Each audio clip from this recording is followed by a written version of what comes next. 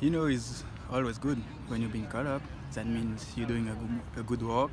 That means the team, the national team trusts you too. Now I, am, I have to do the work when I get there, and that's it. The more important uh, is the last game because before the Gold Cup qualification. So we have to do the job, and everybody will be happy. Uh, we're playing in Guadeloupe uh, on the 23rd. 23rd. Yeah.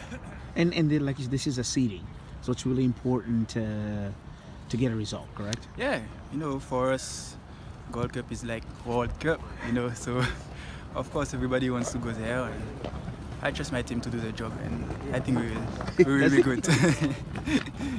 And so, and then obviously with the Sounders, how you know the couple what we're two games into it. How you feeling health wise and all those things? You know, the staff is doing a good job. I think everybody is happy. We get the result we wanted to. We finally start start good the season, two wins in two games. Now we have to keep working. To keep working.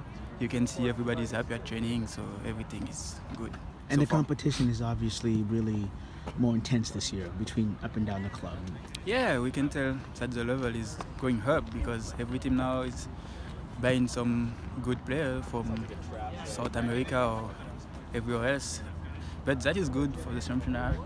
Now we have to keep the level high, like to go get the MLS Cup.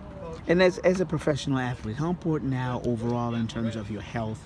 Are you paying more attention to that? Because you know you're, yeah, you've been around quite a while now. Yeah, now uh, with Damien, uh, we have some people in the staff who are looking for us what we should eat, what we should do. So it's very important to keep your body your body healthy because you know you need the body to work. So that is important, and we be careful about that. All right.